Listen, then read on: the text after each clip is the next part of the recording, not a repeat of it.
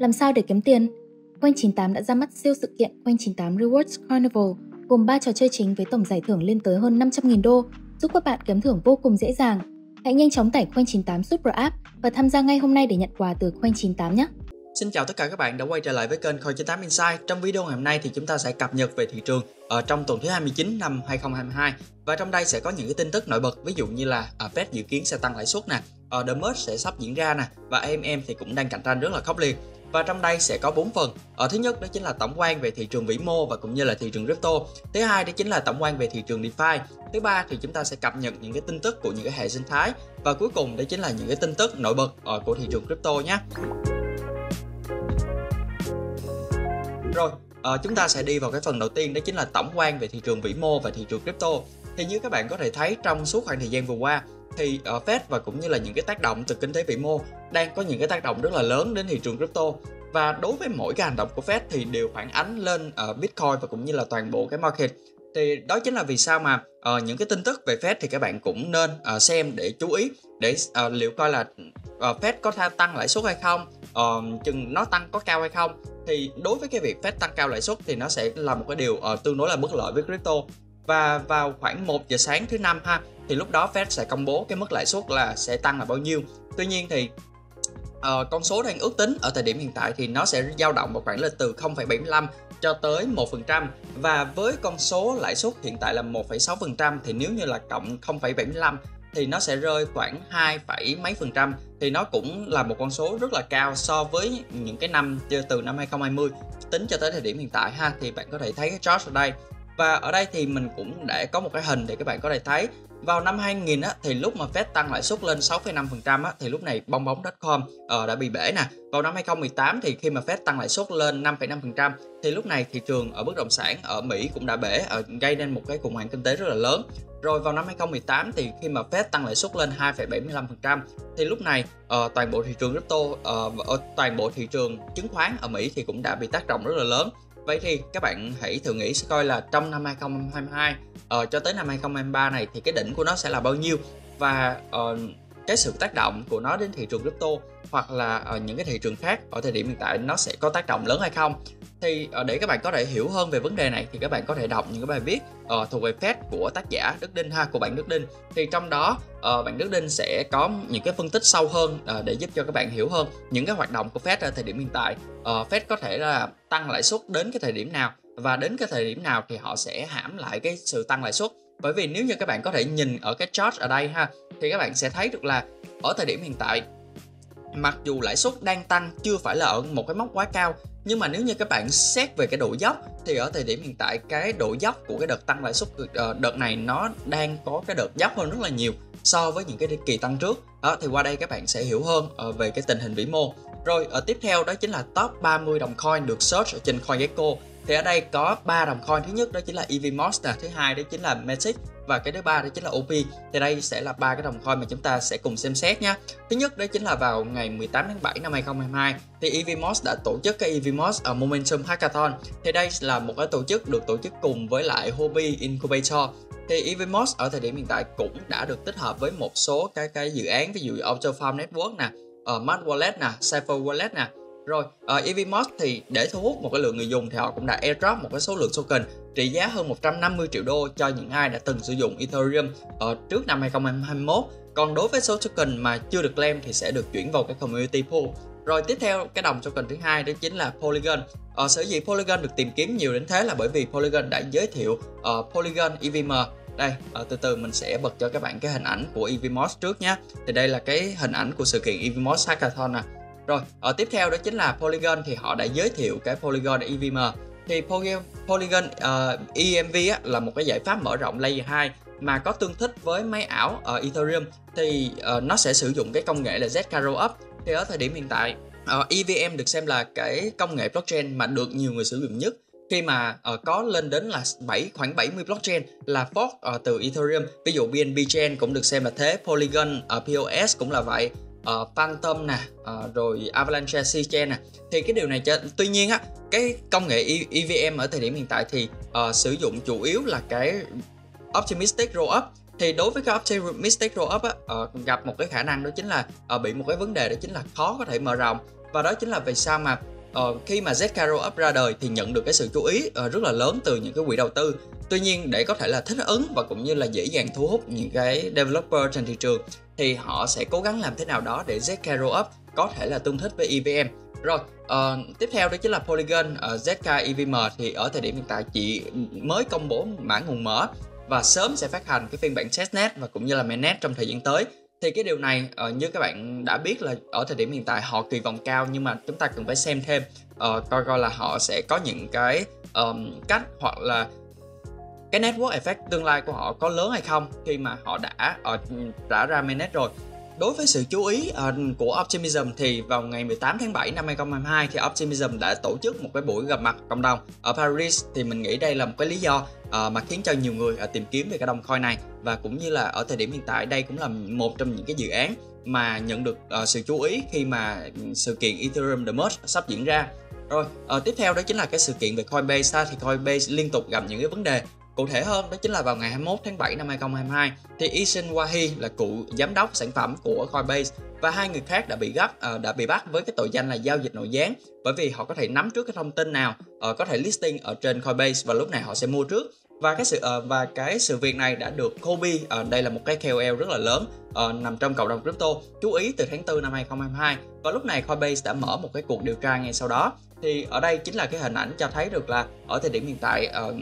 cựu giám đốc của Coinbase đã bị bắt. Còn đây chính là hình ảnh của Kobe vào tháng 4 năm 2022 khi mà uh, ông tra sát ra được và thấy được có nhiều cái sự nghi vấn đối với những cái đồng coin mà được list ở trên Coinbase. Và sau đó thì có những cái dữ liệu on-chain cho thấy là những cái đồng coin này được mua rất là nhiều, được gom rất là nhiều ở uh, ngay ngay cái thời điểm mà trước khi nó được list. Rồi, ở tiếp theo nữa đó chính là vào ngày 21 tháng 7 năm 2022 thì SEC cũng đã cáo buộc Coinbase list 9 đồng token được xem là chứng khoán. Tuy nhiên, ở Coinbase thì phủ nhận bởi vì cho rằng SEC chưa có một cái khuôn khổ pháp lý hoàn thiện và đây là những cái hành động mà gây khó dễ cho doanh nghiệp. Ở thực tế thì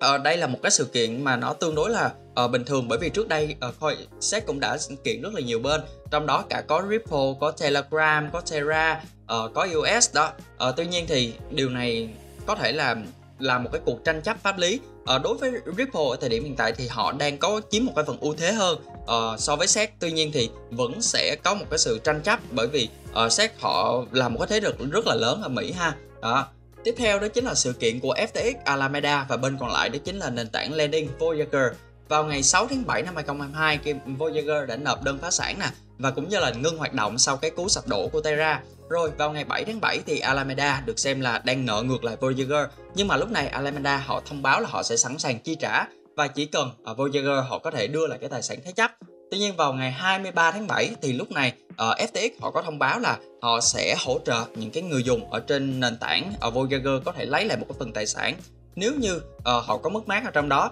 Tuy nhiên vào ngày hôm nay đó chính là vào ngày 25 tháng 7 2022 thì lúc này Voyager họ đã từ chối cái sự giải cứu từ FTX bởi vì họ cho rằng à, uh, FTX có thể gây tổn hại đến người dùng. Thì lúc này uh, Sam đã đăng lên một cái bài tweet rất là dài để nói về cái điều này uh, nói về cái sự quan điểm của uh, Sam về cái sự sai lầm của Ờ, uh, Voyager khi mà ở thời điểm hiện tại nếu như ờ, uh, FTX có thể là mua lại Voyager và cũng như là hỗ trợ ờ, uh, Voyager trong cái việc là mua lại những cái tài sản hỗ trợ người dùng của Voyager thì nó sẽ tốt hơn rất là nhiều. Bởi vì FTX đang cố gắng mua lại những cái tài sản với um, cái trị giá là 100% trừ những cái khoản nợ. Còn Voyager đang đi theo một con đường cũ khi mà nhiều bên họ bên thứ ba họ cố gắng họ thanh lý tài sản của Voyager với một cái giá trị discount rất là sâu. Ở đó là điều thứ nhất còn cái thứ hai nữa đó chính là uh, cái việc um, chuyên gia tư vấn cái việc là phá sản cũng sẽ tiêu tốn một cái số tiền rất là lớn. Nếu như uh, cái khoảng thời gian này kéo dài lâu uh, nó có thể tính hàng tháng cho tới hàng năm tương tự như là sàn MTX uh, GOT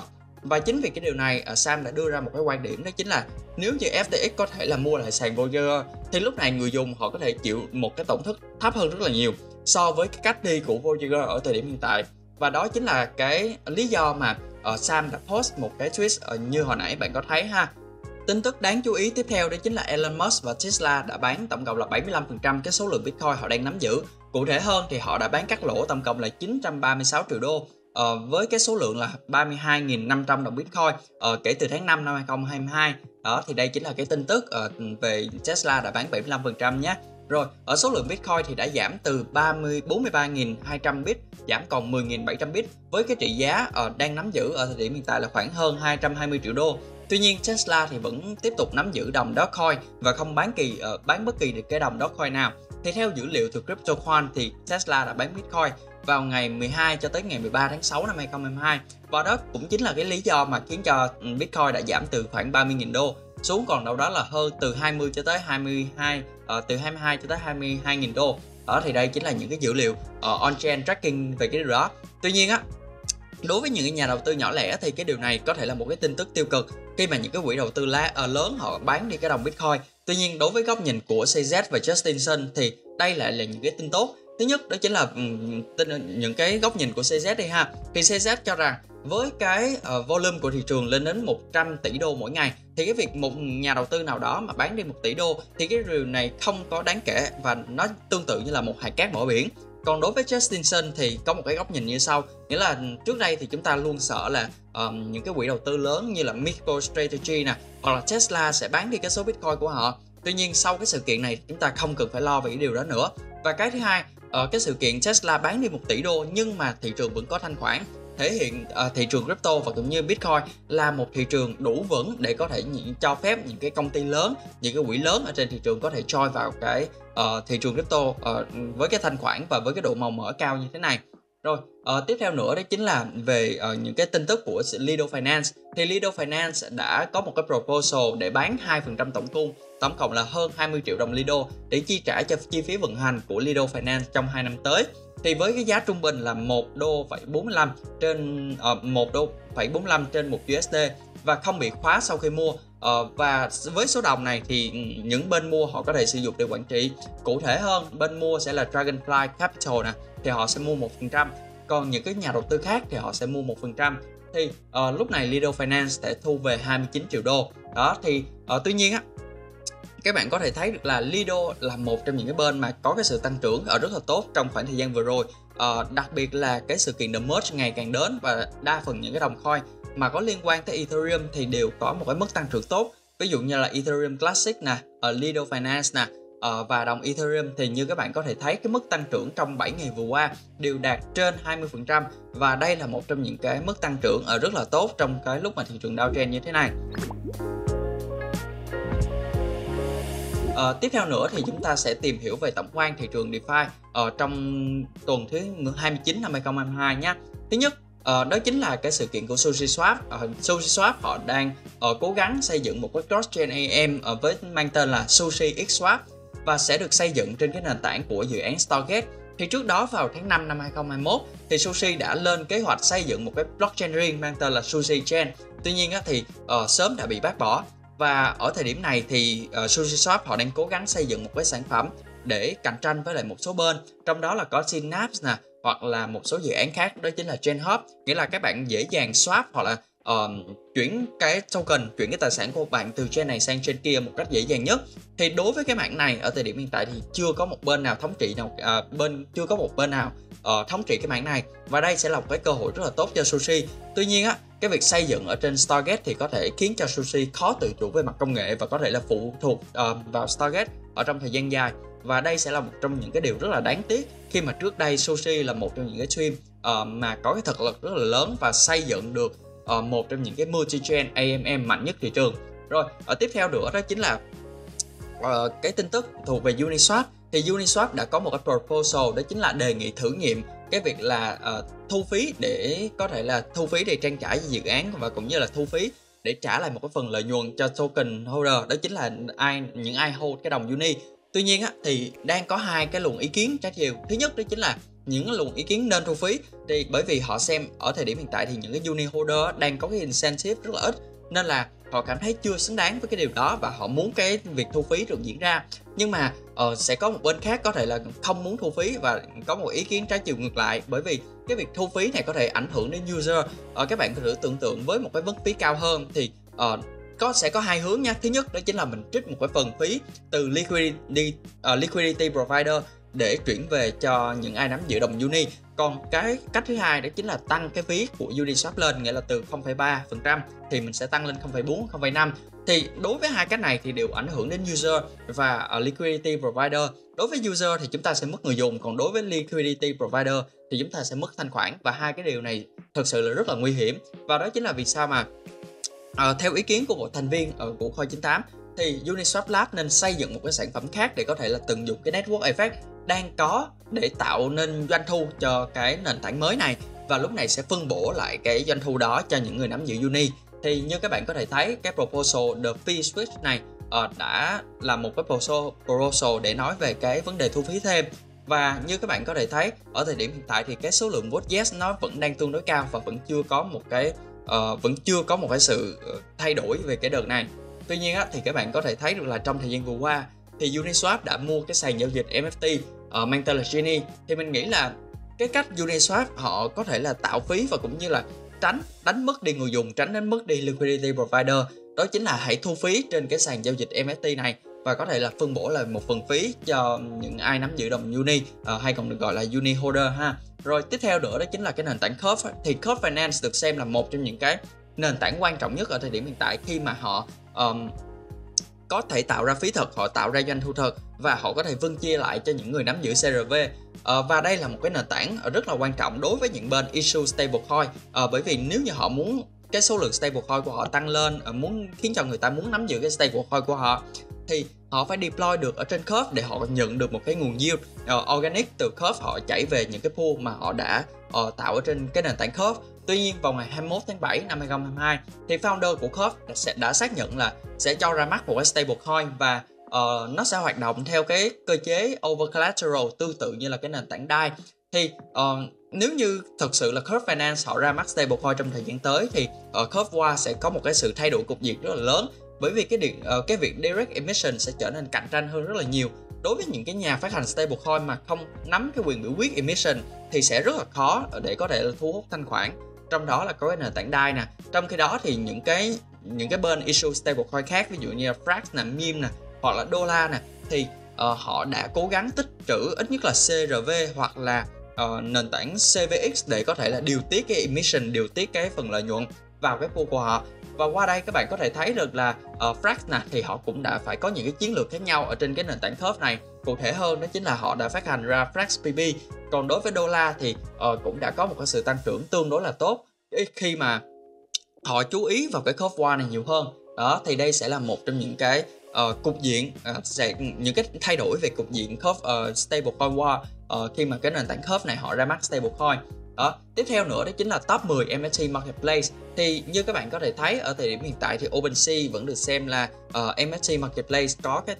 tác động nhiều nhất lên đến thị trường uh, có cái volume cao nhất. Còn lại thì có những cái nền tảng khác ví dụ Magic Eden nè ờ, uh, X2E2 nè CryptoPunk nè Luxray nè. Thì đối với những cái nền tảng NFT marketplace này uh, cái điều mà mình chú ý nhất đó chính là cái cách mà họ tạo ra revenue và ở thời điểm hiện tại thì họ chưa phát hành token. Trong đó có OpenSea trong đó có Magic Eden và có rất là nhiều nền tảng khác thì họ cũng chưa có token. Thì đây đều có cái lý do của họ. Thì như các bạn có thể thấy được là đối với những cái nền tảng này cho dù họ có token đi nữa à, họ không cần phải có token để họ có thể hoạt động. Vậy thì đó chính là cái chiến lược mà họ đưa ra. Họ sẽ cần thì DeFi thay đổi hoặc là họ sẽ cố gắng họ tạo ra một cái sáng kiến nào đó để có thể thay đổi cái cách DeFi hoạt động. Thì lúc này ờ, cái sự ra mắt của token nó sẽ có ý nghĩa hơn tuy nhiên đối với những người dùng uh, đối với những người dùng chưa biết đến NFT marketplace hoặc là chưa bao giờ trading trên những cái NFT marketplace này thì đây sẽ là những cái, cái theo góc nhìn của mình thì đây sẽ là những cái kèo retroactive mà các bạn không nên bỏ qua. Bởi vì đây đều là những cái nền tảng mà có doanh thu thật là có lợi nhuận thật. Và uh, đối với cái việc họ không ra token ở thời điểm hiện tại cho thấy là họ là những bên mà uh, có những cái chiến lược rất là rõ ràng và nếu như các bạn có dư một cái phần vốn thì các bạn nên dành một cái khoản vốn để bạn trading uh, bạn sử dụng những cái nền tảng này nhé rồi uh, tiếp theo nữa đó chính là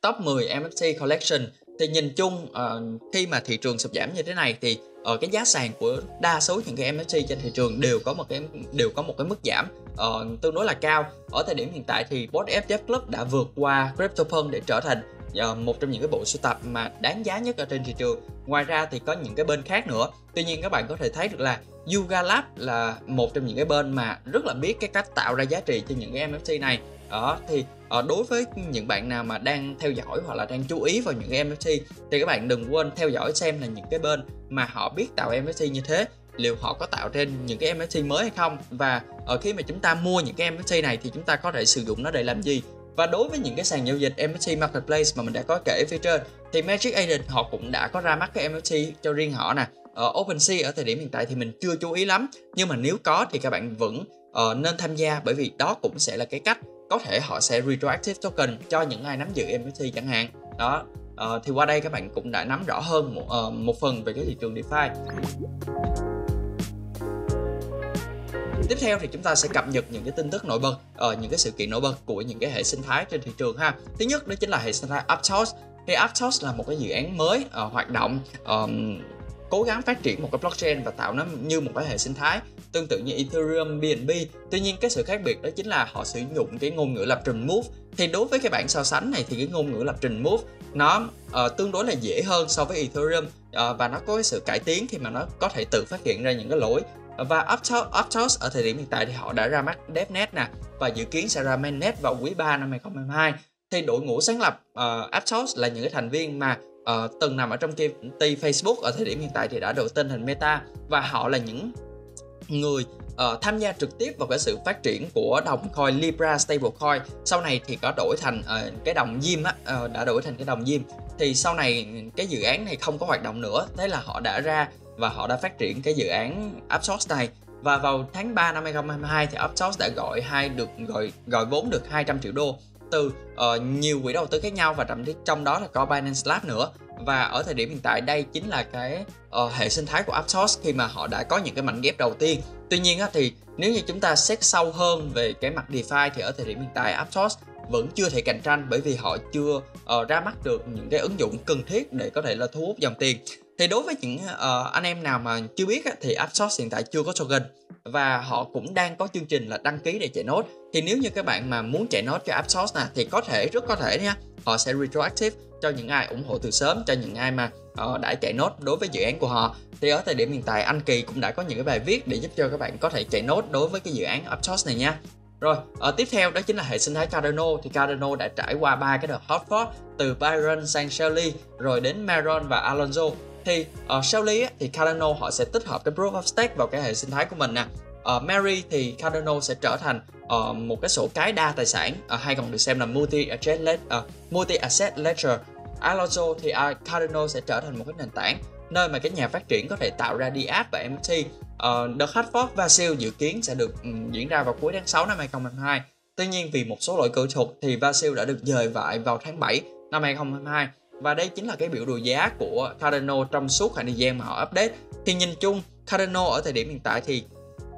đang là một trong những cái dự án mà có cộng đồng cực kỳ lớn không chỉ ở Việt Nam mà ở trên toàn thế giới. Và với cái sự uh, giảm của toàn bộ thị trường thì ờ, uh, ADA nó cũng có chung một cái số phận như thế. Tuy nhiên các bạn có thể thấy được là uh, đội ngũ ADA vẫn còn làm việc ở rất là tốt. Nhưng mà uh, nếu mà để ADA có thể là cạnh tranh với hệ sinh thái DeFi hoặc là đi theo cái hướng của những cái um, hệ sinh thái khác ở trên thị trường thì nó tương đối là khó để Cardano có thể tạo được một cái network uh, network effect tốt khi mà họ đang đi tương đối là chậm so với những cái hệ sinh thái khác. Đó thì đây chính là cái hệ sinh thái DeFi của Cardano nè. Ở thời điểm hiện tại total value lock của nó rơi vào khoảng 200 triệu uh, tương đối là thấp so với những cái hệ sinh thái khác. Ờ, đây con số 200 triệu này là ở khoảng tháng 5 năm 2022 ở thời điểm hiện tại thì nó đã sẽ đã giảm tương đối là nhiều rồi ha rồi à, tiếp theo đó chính là hệ sinh thái AVAX. Khi mà total value lock uh, ờ, giữ vững ở mốc 3 tỷ đô nếu như chúng ta xét theo giá trị đô la thì lúc này uh, cái total value lock của hệ sinh thái AVAX đã giảm tương đối là nhiều so với khoảng thời gian tháng 5 năm 2022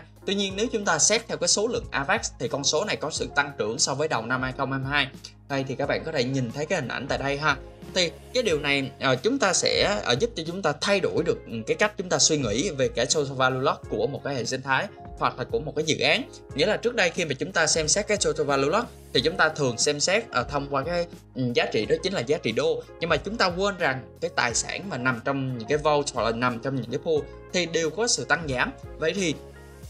cái điều quan trọng nhất khiến cho chúng ta quan tâm uh, đó không phải là cái giá trị uh, tài sản của những cái uh, tài sản được nằm trong pool mà lúc này chúng ta cần phải xem coi là liệu người dùng họ có mang cái dòng vốn của họ ra ngoài khỏi hệ sinh thái hay không hay là họ vẫn còn có động lực ở lại. Thì qua cái hình ảnh này thì mình cũng đã chứng minh cho các bạn thấy là uh, đối với những người dùng của hệ sinh thái Avalanche thì họ vẫn còn có niềm tin đối với cái hệ sinh thái Avax ngoài ra thì Avalanche Foundation họ cũng đã ra mắt cái ví Core Browser. Thì đây là một cái ví mà ờ, tương tự như những cái ví khác có tính năng swap này có tính năng lưu trữ nè rồi có nhiều cái tính năng để có thể là hỗ trợ cái việc lưu trữ cái trở nên dễ dàng hơn. Ờ, tuy nhiên á, thì có những cái tính năng à, tích hợp mới ví dụ như hỗ trợ thanh toán qua thẻ hoặc là tích hợp cái BTC Bridge để có thể là cho phép những cái dự án có thể tiếp cận được một cái nguồn vốn dễ dàng hơn. Tuy nhiên á, đây không phải là cái sản phẩm mà uh,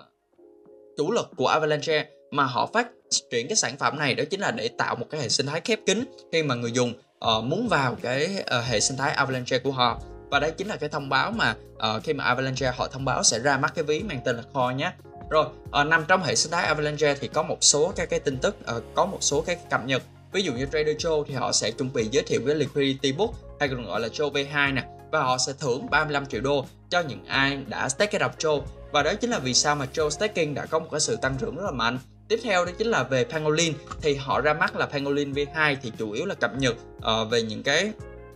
cái cái giao diện uh, sản phẩm của họ. Đối với nền tảng Benqui thì có một cái sự thành công lớn khi mà cái đồng SAVAX nghĩa là cái đồng uh, ờ, liquidity staking đồng AVAX khi đã được hỗ trợ bởi cái nền tảng AV thì điều này cho thấy là uh, cái một đánh dấu một cái sự thành công của Benqui khi mà rất là ít những cái nền tảng hoặc là những cái đồng coin có thể được hỗ trợ bởi bởi cái nền tảng AV này. Tuy nhiên ờ, nếu như các bạn nắm giữ đồng SAVAX thì ờ, cái mức độ ở cái khả năng để bạn vay được ở một cái mức là cao thì nó vẫn còn tương đối là thấp. Bởi vì đây được xem là một trong những cái đồng coin vẫn còn có tương đối rủi ro. Ví dụ như là vừa rồi có cái sự kiện của STETH đi. Mặc dù STETH được xem là có cái giá trị tỷ lệ 11 với ETH nhưng mà khi mà chịu một cái áp lực bán lớn ở với một cái mức thanh khoản tương đối là thấp thì lúc này uh, STETH uh, vẫn phải chịu một cái mức giảm giá một cái mức discount tương đối là cao uh, so với đồng ETH và đó chính là vì sao mà nền tảng AV mặc dù họ hỗ trợ SAVAX nhưng mà uh, cái mức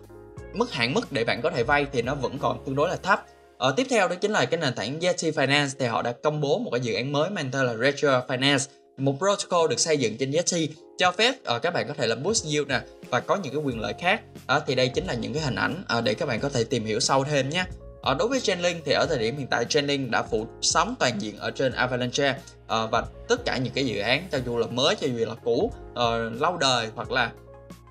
uh, có có những cái cột mốc rất là lớn đối với cái hệ sinh thái Avalanche này rồi thì đều sử dụng Avalanche uh, đều sử dụng Chainlink và trong thời gian tới khi mà Chainlink cho ra mắt những cái tính năng mới nữa ví dụ như là CCIP nè um, Proof of Reserve nè thì mình nghĩ là những cái dự án mà uh, có thể tận dụng những cái tính năng của Avalanche uh, tận dụng những cái tính năng của Chainlink thì đều có thể phát triển mạnh hơn nữa ở trên cái hệ sinh thái này. Đó rồi ở tiếp theo đó chính là Ethereum đi ha thì Ethereum đây đang đây đang là một cái giai đoạn mà um, nhận được sự Ethereum đang nhận được một cái sự chú ý rất là nhiều và như hồi nãy mình cũng đã show một cái hình ảnh đó chính là những cái đồng coin. Uh, có liên quan tới Ethereum trong đó có Ethereum Classic nè, Lido Finance nè và uh, Ethereum nè thì đều có cái mức tăng trưởng là trên 25% thì tại sao cái điều này là thế? Uh, đó chính là bởi vì sự kiện The Merge ETH dự kiến sẽ được ra mắt uh, sẽ được hoàn thành vào tháng 9 năm 2022 và nếu thành công đây sẽ là một cái yếu tố uh, động lực rất là lớn thúc đẩy đồng ETH có thể phát triển trong một cái bối cảnh uh, lạm phát của họ giảm chia 10 lần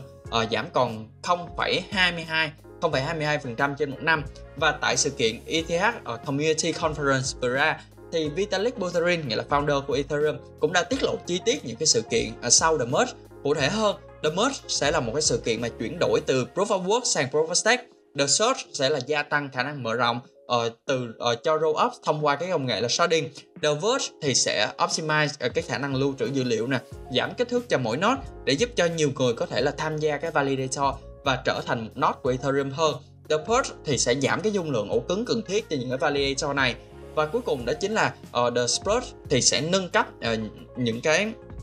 nâng cấp và chỉnh sửa những cái lỗi nhỏ uh, sau bốn cái đợt uh, nâng cấp uh, hoặc là cải thiện Ethereum. Ở uh, trong những cái đợt đợt trước cụ thể là the merge, the search, the verge và the purge ha để giúp cho Ethereum có thể hoạt động trơn tru hơn. Và đây chính là cái hình ảnh đây chính là cái plan mà Vitalik uh, đã đề ra uh, cho cái sự phát triển của Ethereum trong thời gian tới. Tuy nhiên cái quan trọng nhất uh, vẫn chính là cái khả năng um, cái cái mức độ lạm phát của Ethereum nó sẽ được giảm đi rất rất là nhiều. Và để các bạn có thể hiểu hơn về cái chủ đề này thì trong thời gian tới mình sẽ có làm hai video. Thứ nhất đó chính là video định nghĩa về the merge. Thì lúc này bạn sẽ hiểu hơn về uh, the merge là hành trình phát triển của Ethereum là hành trình phát triển của the merge nè. Và cái video thứ hai thì mình sẽ phân tích sâu hơn uh, về cái tác động của The Merge đến Ethereum tác động The Merge đến thị trường. Và đối với nhà đầu tư thì các bạn nên làm gì? Dựa vào hình này thì các bạn có thể thấy được là Ethereum hiện tại đang có cái total value lock uh, rất là lớn và được xem là cái trung tâm thanh khoản của toàn bộ thị trường crypto khi mà những cái hệ sinh thái khác nếu như họ muốn có một cái dòng vốn thì họ đều có một cái bridge để bắt đến cái hệ sinh thái Ethereum này. Và xét theo số lượng dự án thì Ethereum cũng đang là cái hệ sinh thái mà có số lượng số lượng dự án đứng đầu. Ờ, đó chính là vì sao mà nếu như ở cái sự kiện The Merge này mà có một cái điều gì đó bất thường xảy ra hoặc là gặp cái vấn đề gặp những cái trùng trặc thì nó sẽ có những cái tác động rất là lớn đối với toàn bộ hệ sinh thái DeFi mà chúng ta đang thấy ở thời điểm hiện tại ha. Rồi à, tiếp theo đó chính là chúng ta sẽ xem coi những cái tin tức nổi bật ở trong thị trường gọi vốn coi là có những cái điều gì um, tương đối là hấp dẫn hoặc là thu hút thì nhìn chung á 1,5 tỷ đô là con số mà uh, số tiền đã được gọi vốn trong suốt khoảng suốt tuần vừa qua. Và đây là một con số mà cao hơn tương đối là nhiều uh, so với tuần trước. Các cái VC thì vẫn tiếp tục huy động vốn để có thể đầu tư vào những dự án mặc dù cái tình hình kinh tế vĩ mô nè và thị trường crypto thì cũng tràn ngập sắc đỏ uh, số lượng thương vụ thì ờ, chú được chú ý vào mảng GameFi và MSC thì vẫn duy trì trên cái số lượng cao nhất Tuy nhiên thì cái mảng cơ sở hạ tầng và cái mảng layer 1 thì lại thu hút được nhiều tiền từ các quỹ đầu tư lớn nhất. Tiếp theo đó chính là tâm trong top 10 uh, ờ, thương vụ đầu tư thì trong đó có 3 dự án về giải trí. Trong đó có Score Farm nè, Monkey League nè và GBD thì có những cái game thuộc về game bóng đá, có những cái cái là thuộc về game cá cược, còn cái là Play to Earn. Có hai sàn giao dịch đó chính là Saberlab và Hashflow đó thì các bạn có thể tìm hiểu hơn. Thì Cyberlab họ có ra mắt một cái quỹ đó chính là Protagonist để có thể là đầu tư vào những cái dự án thuộc về web 3 còn Hashflow là một trong những cái dự án uh, thuộc về sàn giao dịch ở Crosschain mà lúc này đã raise được vốn lên đến 25 triệu đô. Một dự án thuộc về cơ sở hạ tầng đó chính là Misten Lab thì đây là cái bên mà đã phát hành ra uh, Su Blockchain. Và nếu như các bạn uh, chưa biết về Su Blockchain thì ở thời điểm hiện tại họ cũng cho ra mắt ừ, cái việc là chạy nốt. Thì nếu như các bạn muốn chạy nốt thì các bạn đừng quên đọc bài viết của anh Kỳ nhé họ gọi vốn lên đến là 200 triệu đô ở trong cái series B của họ. Và cuối cùng đó chính là uh, cái dự án bảo mật. Uh, nó tương tự như là Certic vậy nhưng mà đây là một cái dự án mang tên là Harbor uh, hoạt động trong cái mảng bảo, bảo mật là audit. Đó thì đây chính là những cái thương hiệu nổi bật ở trong suốt khoảng thời gian vừa qua xét về những cái quỹ đầu tư thì có hai cái quỹ đầu tư có những cái hoạt động nổi bật. Trong đó là có Lightspeed Venture họ đã gọi vốn được 500 triệu đô và nâng cái tổng cái số tiền họ đã gọi vốn được lên đến 7 tỷ đô. Và họ đã từng tham gia vào uh, đầu tư sớm vào những cái dự án ở ngoài truyền thống và cả trong crypto. Ngoài truyền thống thì trong đó có Snapchat nè Fusion EO nè hoặc là Rubrik EO còn trong crypto thì có những dự án ví dụ như là blockchain.com, FTX, Certic và Ripple còn Musicoin thì họ không có gọi vốn mà họ công bố một cái quỹ lên đến 430 triệu đô đầu tư vào đa ngành và họ sẽ đầu tư vào những cái dự án ở trong cái khoảng mức là từ 500.000 đô cho tới 100 triệu đô cho mỗi vòng của những cái dự án này. Và đây chính là đội ngũ của Lightspeed Venture ha. Ở trong cái khoảng thời gian tới thì họ sẽ tập trung ở đầu tư vào những cái dự án ở cái khu vực là Đông Nam Á. Còn đối với Multicoin thì cái portfolio của họ ở thời điểm hiện tại nó rất là đa ngành và họ có thể là họ cũng đang đi theo cái hướng đó chính là um, bet nhiều hơn uh, để tăng cái tỷ lệ thắng của họ nhiều hơn so với trước đây là họ sẽ chọn lọc kỹ. Bởi vì ở thị trường hiện tại thì nó sẽ rất là khó để có những cái tìm tìm được những cái hidden gem. Uh, và để tránh bỏ lỡ những cái hidden gem thì có thể là họ sẽ đầu tư nhiều. Uh, tuy nhiên thì cái số vốn họ đầu tư đối với những cái dự án thì nó sẽ có một cái mức khác nhau tùy vào cái tiềm năng tùy vào cái thực lực và tùy vào cái mảng mà những cái dự án này uh, đã họ đang hoạt động và trong thời gian vừa qua thì uh, chúng mình cũng đã có những cái phân tích uh, thuộc về những cái quỹ đầu tư. Khi mà uh, nếu như các bạn mà có follow những quỹ đầu tư á, thì không phải bất kỳ cái quỹ đầu tư nào uh, mà họ đầu tư vào dự án nào thì chúng ta sẽ theo họ đầu tư 100% bởi vì nó sẽ khiến uh, họ, các bạn bị lỗ. Và đó là một cái thống kê uh, thật bởi vì uh, đối với những cái quỹ đầu tư như thế này thì họ có một cái vị thế tốt hơn chúng ta rất là nhiều uh, và uh, cái khoản đầu tư họ cũng mua được ở với cái giá rẻ hơn vậy thì trên phương diện là nhà đầu tư nếu như các bạn mà có quan sát ờ, đối với những cái quỹ đầu tư hoặc là có những cái quỹ đầu tư thuộc về top tier mà bạn chú ý thì bạn cần phải thay đổi cái lối chơi của họ của bạn. Nghĩa là đối với những cái quỹ đầu tư này nếu như họ đầu tư vào dự án nào mà bạn có cơ hội skin in the game thì tốt nhất bạn hãy skin in the game. Còn khi nào mà có cái cơ hội đầu tư cực kỳ tốt cực kỳ xịn thì lúc đó chúng ta mới đầu tư theo uh, những cái dự án này nhé Ờ, qua đây thì đội ngũ Coin 98 Insight cũng đã giúp cho các bạn cập nhật những cái tin tức thuộc về vĩ mô này, thị trường crypto này, thị trường DeFi ở trong tuần thứ 29 năm 2022. Ờ, hy vọng là những cái thông tin này sẽ uh, hữu ích đến tất cả các bạn. Và nếu như các bạn mà muốn đội ngũ Coin 98 Insight thêm những cái thông tin nào thì các bạn đừng quên để lại phía dưới comment nhé. Mình và đội ngũ Coin 98 Insight sẽ cố gắng đọc hết tất cả những cái comment và hoàn thiện cái nội dung uh, đưa đến các bạn những cái nội dung chất lượng nhất. Nếu như các bạn cảm thấy video này hữu ích thì đừng quên một nút like và subscribe cho đội ngũ Coin 98 Insight TV nhé. Uh, cảm ơn tất cả các bạn rất là nhiều. và chúc cho các bạn có một ngày thật là tốt lành